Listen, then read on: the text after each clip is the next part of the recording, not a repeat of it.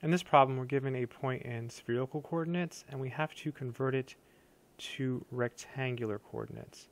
So the formulas, in order to convert from spherical to rectangular, are extremely important, uh, and they are x equals rho sine phi cosine theta, y equals rho sine phi sine theta. And the very last one is z equals rho cosine phi. Okay, so the ordered triple here is in the form rho theta phi. So all we have to do is carefully plug everything in and we are done. So x is equal to rho, which is 10, times the sine of phi, which is pi over 4. Be really careful. Um, you know, your eye tends to look at this one, but that's not phi, that's, that's theta. Phi is pi over 4, so it's really easy to mess up here, so go, go slow.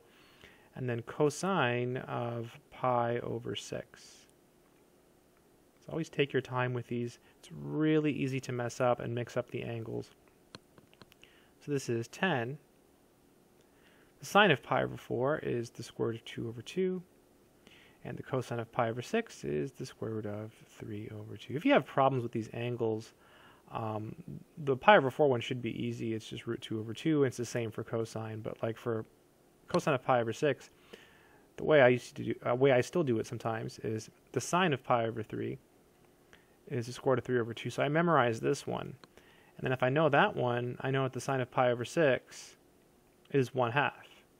And then for cosine, you just flip them. So cosine of pi over 3 is 1 half, because it can't be root 3 over 2. And cosine of pi over 6, well, it can't be 1 half, so it's root 3 over 2. So once you memorize one, you, you kind of know uh, the others. So 2 times 2 is 4, and then we have a 10 here. So 10 over 4, that's 5 halves. And then you can multiply the numbers inside the square roots here, and that will give you square root of 6. So that's our, our x value. y is equal to rho, so 10. And again, sine phi, so sine of pi over 4.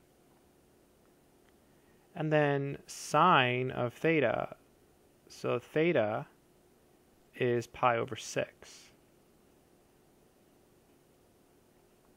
So this is equal to 10 square root of 2 over 2. Well, how convenient I wrote these here. That, that worked out nice. Sine of pi over 6 is 1 half. So we have 10 fourths, which again is 5 halves square root of 2. Lots of fractions, lots of numbers, lots of square roots, lots of angles. So again, just just take your time. And then rho is 10 here in this case. And then cosine phi.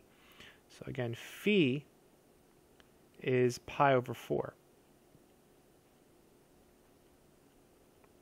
And the cosine of pi over 4 is the square root of 2 over 2. So we get 10 times the square root of 2 over 2. Whoops. So that's 5 square root of 2. So our final answer is an ordered triple in space and it can be written in the form xyz. So the x coordinate is 5 halves times the square root of 6. The y coordinate is 5 halves times the square root of 2. And the z coordinate is 5 times the square root of 2. And that would be the answer to the problem. That's it.